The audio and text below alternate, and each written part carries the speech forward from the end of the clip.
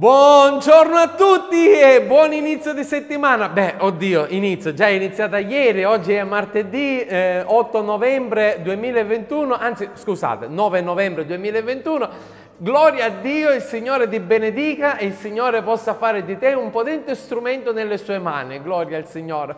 Scusatemi se ogni tanto mi faccio degli errori, ma può capitare. Ecco, è che siamo pronti per ascoltare il messaggio della parola di Dio, che questa mattina ce lo porterà nuovamente il fratello Giuseppe Vernagallo dalla, da Francofonte, della chiesa Adi di Francofonte, che condividerà con noi il calendario cristiano e poi il messaggio che Dio metterà nel suo cuore. Quindi apriamo i nostri cuori, apriamo le nostre orecchie e diciamo Signore, parla al mio cuore perché ho bisogno. Nel nome di Gesù, Amen. Dio ci benedica.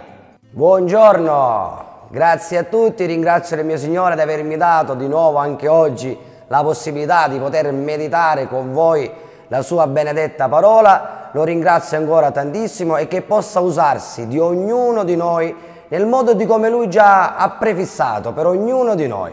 Dio vi benedica. Dice così la scrittura. La parola del nostro Dio dura per sempre. Isaia capitolo 40 versetto 8. L'anima mia avvilita nella polvere, ravvivami secondo la tua parola. Salmo 119, versetto 25.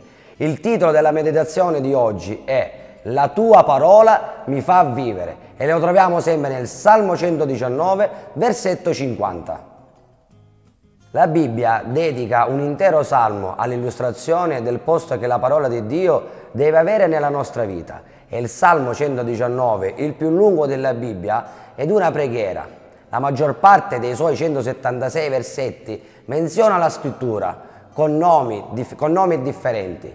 Vale la pena leggerlo con attenzione. La parola di Dio è ciò che mantiene viva la nostra comunione con Dio, che il Dio d'amore, il Dio vivente, il vero e il suo messaggio si rivolge a tutti, indipendentemente dall'età, dalle condizioni spirituali di ognuno. Questo salmo ci invita a radicare la parola divina nel profondo del nostro cuore e a memorizzare dei testi appropriati che saranno le nostre armi per il giorno malvagio, il giorno in cui verrà la tentazione.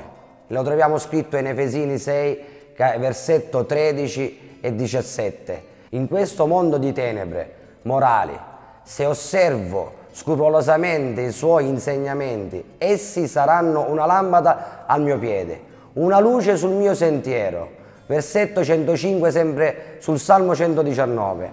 Anche nella prova il credente troverà nella Sacra Scrittura una grande consolazione. Questo mi è, mi è di conforto nell'afflizione, che la tua parola mi fa vivere. Sempre sul, Salmo 119 nel versetto 50 Essa è anche una sorgente di meraviglie. Le tue testimonianze sono, sono meravigliose, perciò l'anima mia le osserva. Nel versetto 129, sempre sullo stesso salmo, troverò dunque nella gioia leggere le tue testimonianze, sono la gioia del mio cuore.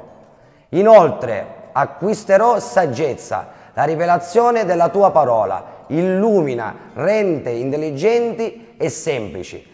La tua parola mi fa vivere, questo era il titolo. E questo titolo mi fa pensare davvero come la parola di Dio ci rende vivi, come la parola di Dio ci fa vivere, perché noi viviamo per essa, perché noi acquisiamo, acquistiamo vita grazie a quella parola, grazie all'insegnamento che il nostro Signore ci ha, ci ha lasciato, grazie a far vivere Dio dentro di noi.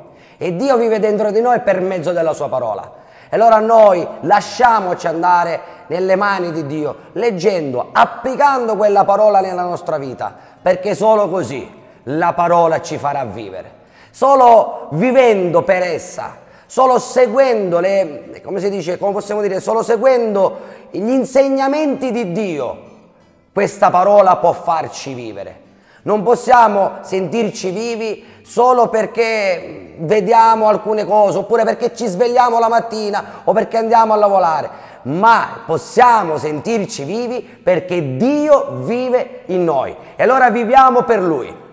Perché il Signore ce l'ha promesso, Lui ci donerà vita e quella vita in abbondanza. E allora viviamo per Dio, lasciamo che Dio dimori in noi e lasciamo che la Sua parola davvero regni nella nostra vita. Vi saluto anche oggi, Dio vi benedica e che possa questa meditazione, questo pensiero, che possa soprattutto lo Spirito Santo vivere e regnare in ognuno di voi.